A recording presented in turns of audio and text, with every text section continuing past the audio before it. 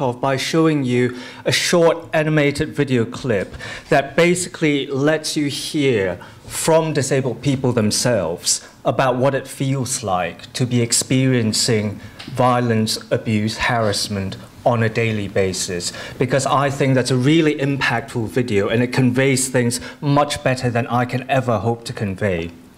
After that, I'm going to talk about a model for trying to understand issues around safety and security of disabled people in the community and in institutions. Because what I've been working very hard on in recent years is to try to shift the discourse and the representation away from just talking about disabled people are vulnerable and hence they are at risk of suffering from hate crimes or violence and abuse. I don't find that representation at all helpful, and it actually stymies effective action.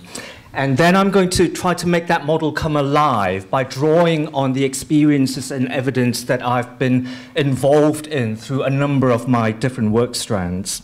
Now, before we start, the, the, the, the, clip that I'm going to show you might be quite distressing to some people. I, I found it useful in repeated presentations now to actually come with a health warning in advance that some of the information might be a bit distressing, and understandably so, because they are quite awful experiences that you'll be hearing about.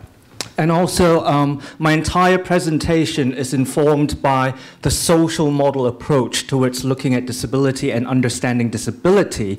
And that's basically founded upon a belief in the UK disabled people's movement that you cannot understand the experiences of disabled people just by looking at their disability and impairment as if that in and of itself explains their experiences. Instead, you've got to look at the interaction between the impairment and the wider environment, be it a physical environment, societal structures, and attitudes. So it's shifting the gaze away from the disabled person and onto wider society.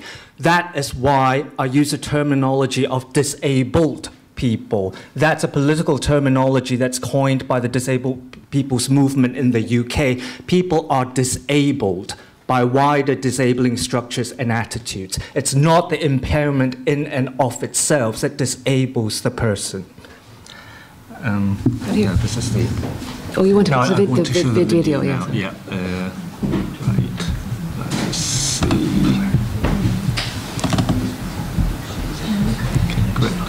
Um, Apologies in advance, the, the, the sound quality in the clip isn't very good, but it's also captioned and subtitled, so hopefully you can, you can follow. Susie and Charlie are a middle-aged couple, both of whom have mental health problems. They live together in a house they own in the large city in southwest England. Susie and Charlie took part in this research interview because they believe that no one should have to go through the type of harassment they experienced at the hands of their next-door neighbours.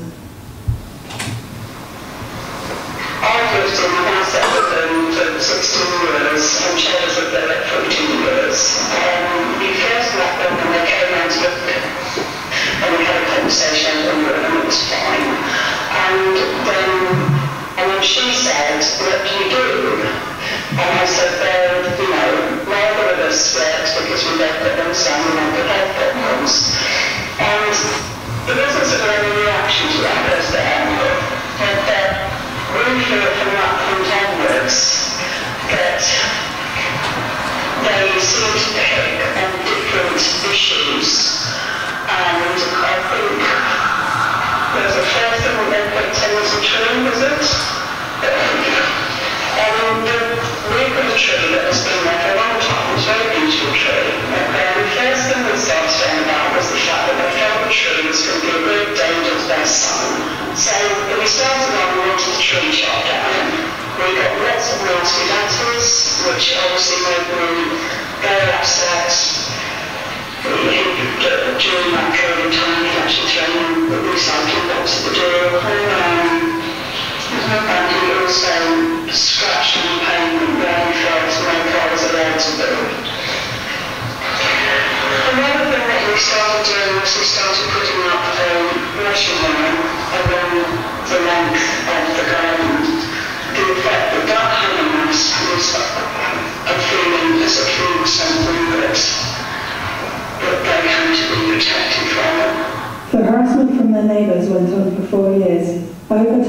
became more frequent until it was happening every day.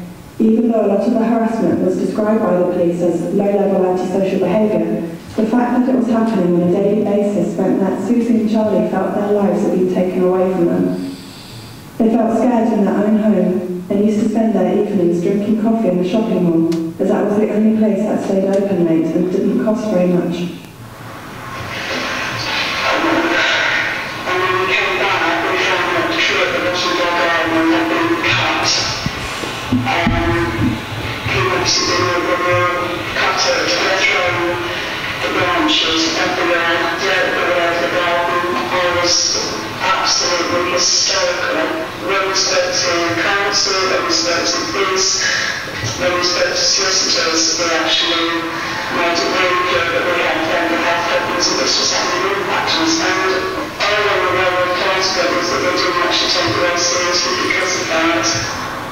The police and the council told Susie and Charlie that the things their neighbours were doing to them were not serious enough for them to be able to take any action. They were told to try and ignore their neighbours. It eventually got to the point where they felt so alone that Susie made an attempt on her own life. Not long after, Charlie had a heart attack, which the doctor said was caused by stress. It felt the whole time that we were sort of under siege in the house. And if we went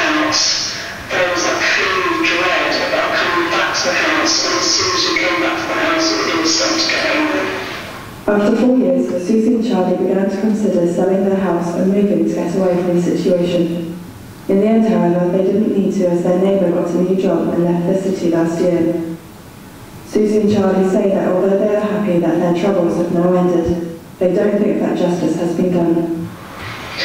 It's uh, that when the next person moved in was meant that we don't feel that we can actually say to anybody that we have mental health problems. We can't actually be honest. It's, it's changed the way that I will ever deal with neighbours.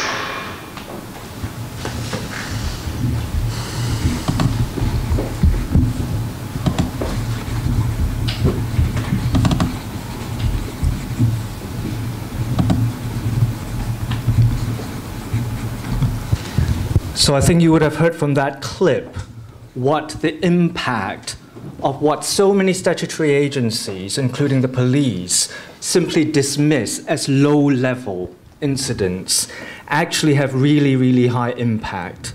So why do we continue trivializing the experiences? And these are very routine daily experiences of a lot of disabled people up and down the country until we start calling them what they are, which are different forms of disablist informed hate crimes and just completely unacceptable behavior. Otherwise, we will never devote the resources and time to tackle it effectively. And I think in that clip, you would also have heard the failures of interagency working. The, the, the, the, implications on disabled people disclosing their impairments or conditions for those that don't have as visible impairments. And what does that do to someone you, when you feel like you're a prisoner in your own home or that you don't even dare to go home because the home, your private space, is not yours because someone makes you feel like a prisoner inside your own home. So the work I'm going to talk about draws on three main sources. There's a cluster of research studies that I've been directing over the past few years, um, and a number have been mentioned, which was the Equality and Human Rights Study into Disabled People's Experiences of Targeted Violence and Hostility. That study's triggered the Commission's formal inquiry that has only recently completed and reported. So if you're interested, do go onto the Commission's website to look at the results of the formal inquiry. And most recently in May, it was a learning disability charity, MenCap's work on the Stand By Me campaign, and the, resource, uh, the, the research report was called Don't Stand By. In addition to the research, it's also about my own personal practice engagement with a range of police forces across England and with a range of disabled people's organizations and working with them to try to crack the issues of addressing chronic underreporting, of being able to engage more effectively with the disabled communities and localities, and in empowering people to be heard and for their evidence to be taken seriously and not have their credibility doubted at each step of the way. Last but not least, I'm hugely interested in all aspects of equality and diversity. And I think that actually some of the most effective remedies to tackling disability hate crime needs to come from practice sharing across the experience of how other types of hate crimes are being tackled. But I say that with a caveat that we need to look at commonalities and differences because there isn't a one size fits all approach. In England, it's been quite risky in that the race model of dealing with hate crime crime has quite simply been transposed uncritically on a range of other hate crime areas, and that is not always very useful. So what is the layers of influence model? It is basically, I pinched the model from um, public health, so I have to put my hands up and declare that. It's a very well-known public health model that's recognized by the World Health Organization that basically makes it very clear, and it sounds so simple when you say it, that if you're trying to address an individual's health and well-being issues, you cannot just target that individual. What about the family members that live in the same household that may have an influence on that person eating habits, exercise, fitness regime? What about the company that person works in and what they do in terms of working hours? What about wider society's attitudes towards healthy eating and healthy lifestyles? So in a similar sense, I think a layers of influence model is absolutely spot on for helping us understand issues to do with disabled people's security and safety. And that is to recognize that disabled people, just like any other person, are embedded in wider nested hierarchies of different levels of social aggregates. So if you start in the center of the circle, the disabled person himself or herself Disability is only one aspect of any disabled person's identity.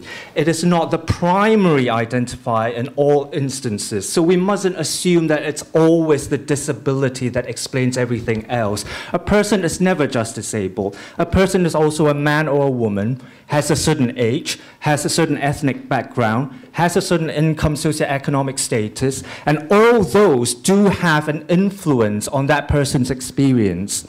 And wrapped around the disabled person are the family, friends, and carers. And we do know from the evidence that family members of disabled people can similarly be victimized by perpetrators of disability hate crime. So, for instance, very well documented evidence on children of disabled people being victimized just because one or both of the parents happen to be disabled. And quite critically, the immediate sphere surrounding the disabled person can play a very critical conditioning role it is usually well intentioned. We don't want bad things to happen to the people we care about and love. However, the conditioning effect of family members and carers and friends can often be to persuade the disabled person just to ignore the incident, to ignore the perpetrators, not put himself or herself in risky positions or in risky situations. Although that's well intentioned, it does have implications for social inclusion. Is it fair that we advise the people we love to self exclude? just so that they can be out of harm's way? Or should something else actually be the focus of what we do to tackle the problems?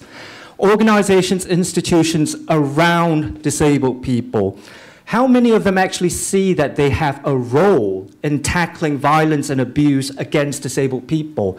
Most people you talk to just think that this is a policing criminal justice issue.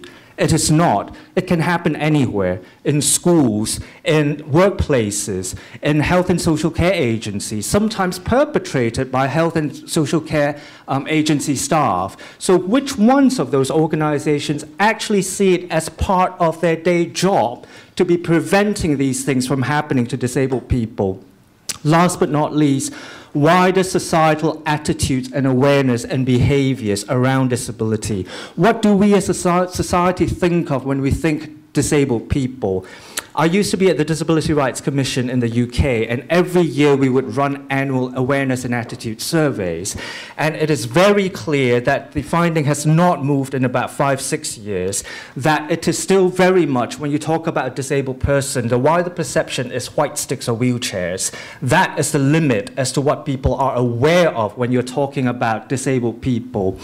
And also, what's our attitude towards disability? It's still very much thinking in terms of a lack of, as being incomplete. And that causes us to doubt the, the, the, competence and capacity.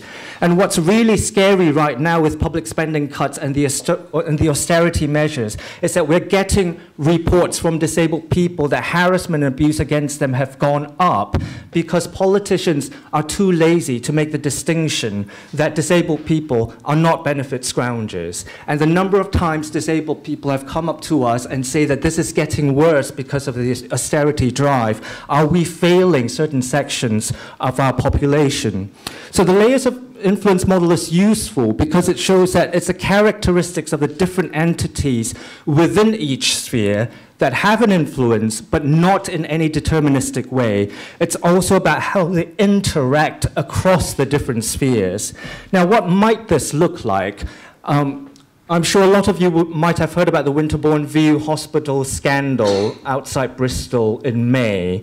That was an inpatient um, hospital run by a private sector provider in which people with severe learning disabilities or autism were placed. And that led to systemic abuse and torture that was exposed in a pan panorama special um, in May this year how can the layers of influence model help us understand what went on in Winterbourne View?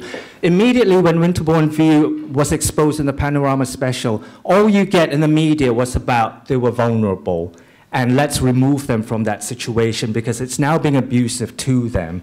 At no point was there actually any acknowledgement of has this got anything necessarily to do with disabled people being vulnerable? Or did we actually put them in situations that magnify and amplify their vulnerabilities and hence their risk of experiencing certain, certain, certain types of violence and abuse? So if you look at the layers of influence model, wider societal attitudes, disabled people especially people with severe learning disabilities, still thought about as being in need of care and in need of a certain kind of care, which is institutionalization. And although, as John alluded to earlier in Cornwall and uh, certainly Sutton and Merton PCT, there have been previous high profile abuses of people with learning disabilities in these settings, recommendations made since 2005 for change, nothing has changed. Why? Are we coming across some other barriers that are not just about the structures and the organizational cultures, but actually wider society's attitude towards what we think of disabled people? If you look at the organizations that have evolved to meet the needs, the care needs of disabled people, actually they have reproduced and sustained the dependency of disabled people.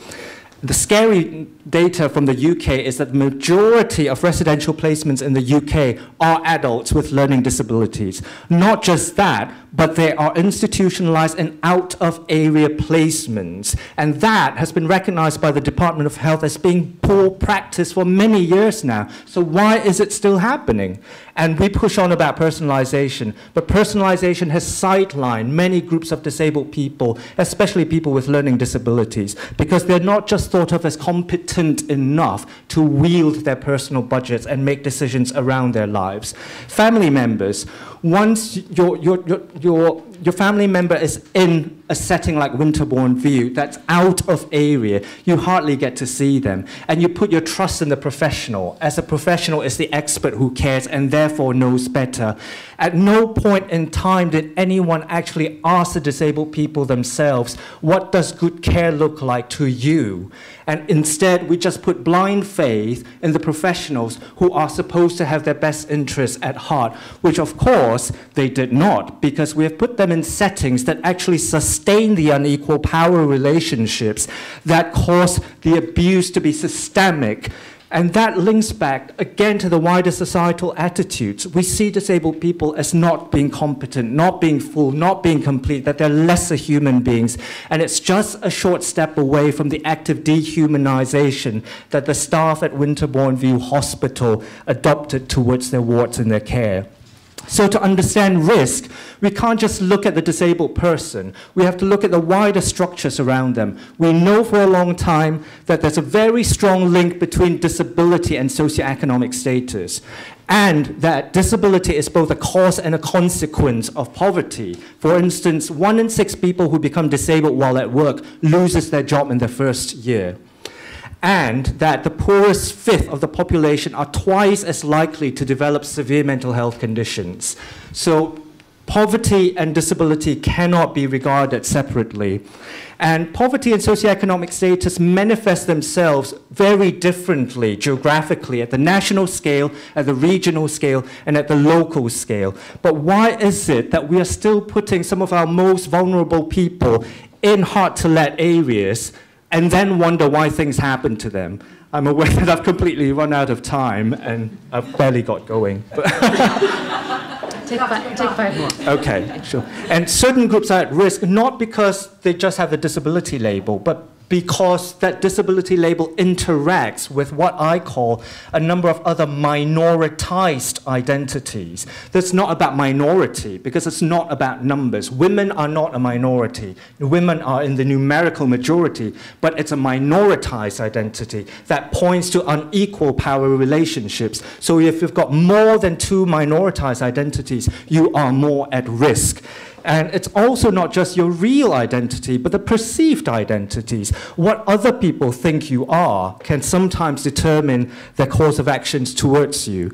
And these are the different types of experiences that disabled people are exposed to the, the, finding that is very consistent is that actually a lot of them have been trivialized as so-called low level, but they're persistent, and actually they have very high impact. So if you're trying to tackle the, the, the issues around safety and security of disabled people, you cannot just tackle the severe end of it, because it comes with a very, very long tail of these other persistent ongoing incidents.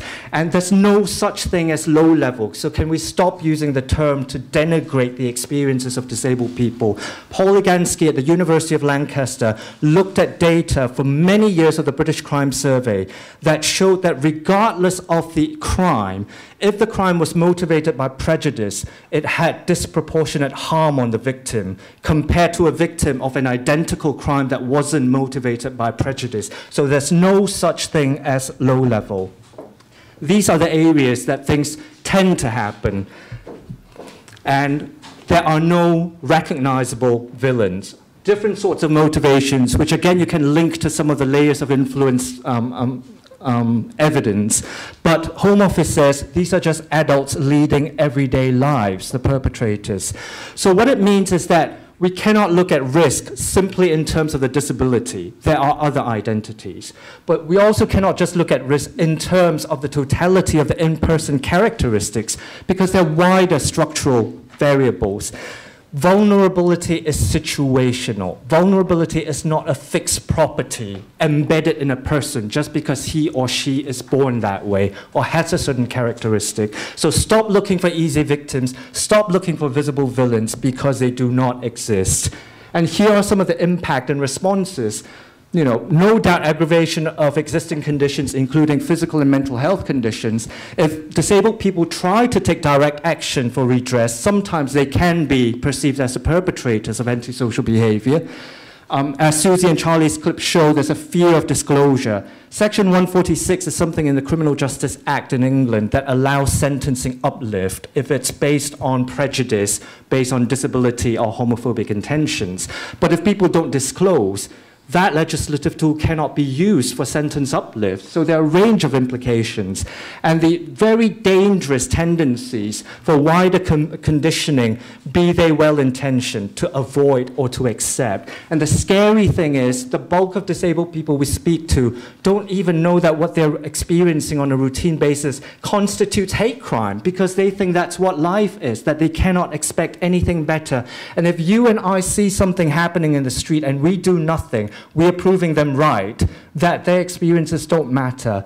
And the perpetrators who think they can get away with it, they do get away with it because we don't intervene and we don't stand up and say, this is not good enough responses from different agencies, three different types, protectionists, driven by the, the view that disabled people are vulnerable. So rather than thinking that there are need of access to justice or redress, what we do is to protect and to take them out of a situation, but not actually change the structures that reproduce that situation.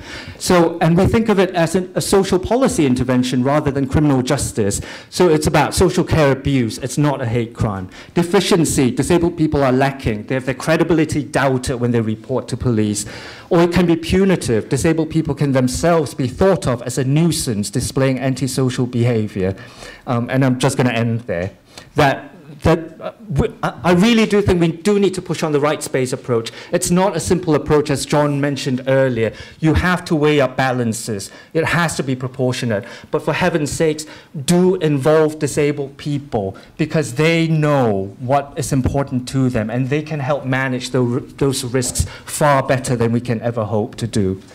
And for copies of the report and the video, just go on that website. Thank you. Thank you so sorry.